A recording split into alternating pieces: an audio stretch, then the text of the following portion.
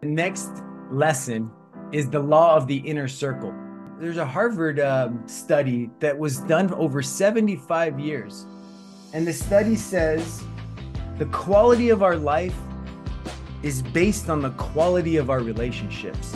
I need you to either be an asset in my life or a liability. Mm. So this is why this video strongly resonated with me.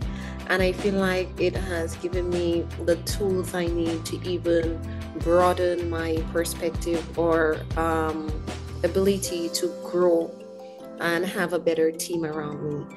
Lifters, leaners, right? There's those that are diminishers, there's those that are illuminators. Mm-hmm. Right? There's those that take the air out of the whole room, and there's those when they walk in, the energy is up. Energy vampires. Yeah, That's right. what I call them. yeah. vampires. the lifters. How? Right? Let's talk about how are how do you become a lifter? And embody that positivity and that light within yourself because I feel like what you're feeling inside or what you carry inside resonates on the outside as well. so It's very important that you know how to lift yourself. If you know how to do it, you're going to be able to help others to to get up as well. Right? The relationships that we have in an organization, the definition of that is culture. What's the culture of that organization? How we act when we're in a setting together it is more noble to give yourself completely to one individual than to labor diligently for the salvation of the masses by Dag Hammarskjöld. Yeah, and you can't help everyone because if they're not willing to learn and you're willing to give them the knowledge. And things are going to get hot in the kitchen. It's not okay to give up every time it gets hot in the kitchen. It it requires us to stick with it. Stick with it. It's more noble to give yourself up completely to one individual. Yes, there will be problems, but I'm not going to bail the first sign of a problem. I'm a t- I'm a team member. It's about the team, and I'm going to do whatever the team needs for us to succeed. I'm going to do whatever it takes. I'm not going to keep aborting the mission and moving on to the next thing. I'm going to stick with what this is, and I'm going to make the best of it. One of the things that I love about this lesson is the hold them accountable.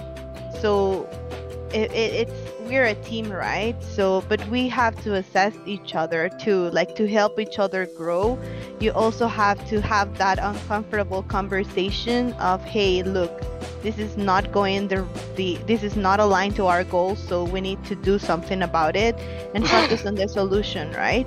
But to have that uncomfortable conversation with your inner circle to have that trust for me it's very important to help each other grow I am really fortunate to have some leaders on the on my team that do that regularly, and it's because of them that I think our teams do well.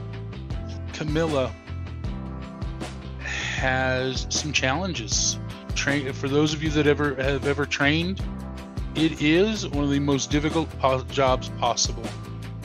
And just recently, she was telling the rest of us how she messed up uh, and how her attitude was causing the team not to learn as quickly as they could.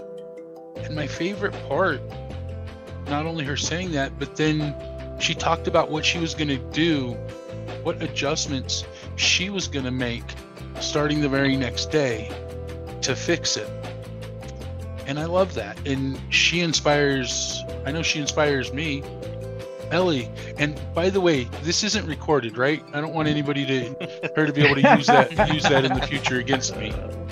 There was once a long time ago when he told me, "There's nothing you do that I like. There's no mistake you can do that I cannot fix."